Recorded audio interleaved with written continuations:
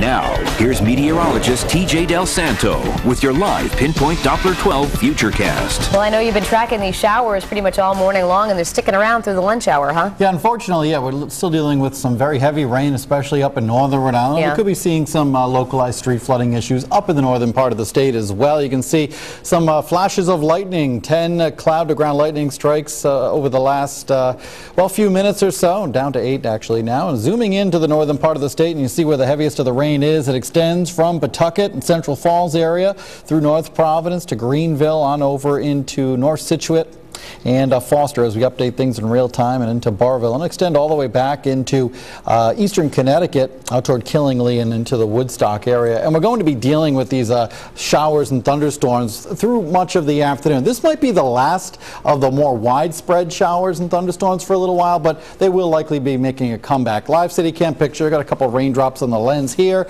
and it's still kind of murky. Every once in a while the visibility improves and it goes back down. That's probably due to the shower that's moving uh, through the Providence metro area now, just to the north of it. 74, wind from the east at 3, relative humidity at 82%. Live pinpoint Doppler 12 radar is showing these showers here in southern New England. And notice there's just a couple more out across uh, western Connecticut and out across New York State. And we might find one or two more throughout the afternoon hours, not raining all the time as we've been talking about all morning, but there's a more widespread and generous rain that we're watching out there in western Pennsylvania that could arrive during the nighttime tonight. What's happening is there's a, a tropical flow of moisture working its way into southern New England and it's interacting with this front that's just basically stalled out overhead. And that's why we're seeing these heavy downpours uh, in place throughout the uh, course of the uh, morning and into the early afternoon so far. Now, tonight we're going to be seeing an area of low pressure passing on off to our south and east, and it may help to enhance any showers and thunderstorms in the region. So it might be raining for a while tonight into very early tomorrow morning, and then that weather system clears for the afternoon tomorrow. We'll look at sunshine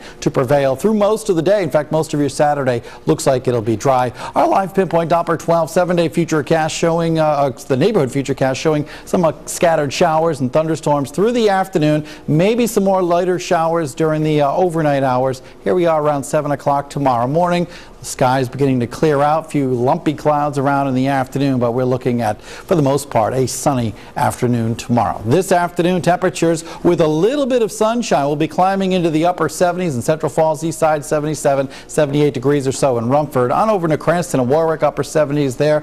Riverside and Barrington also into the upper 70s. So once we get rid of this batch of showers and thunder in northern Rhode Island right now, we might actually see a little hazy sunshine, but we're not going to be seeing it all afternoon. Still a chance of a shower or thunderstorm really at any time with more clouds than anything else. 74 in Charlestown, Wickford 75, Newport at 73. Up in northern Rhode Island, we'll find a few showers and thunderstorms from time to time, especially over the next couple of hours. 75 in Burrillville, Johnston 77, and over in southeastern Massachusetts, temperatures will be topping out about 76 in Fall River, New Bedford 76, East Bay, Middletown down to Little Compton about 74. At the beaches today, obviously not a great beach day. There'll be some occasional showers, some rumbles of thunder, maybe a little bit of hazy sunshine. Air temperatures of around 73 degrees at the beaches this afternoon. Here's your live Pinpoint Doppler 12 seven-day futurecast. Beachgoers, you got better weather on the way for tomorrow and especially on Sunday. Temperatures in the 80s over the weekend with plenty of uh, sunshine continuing into Monday. More showers and thunderstorms are possible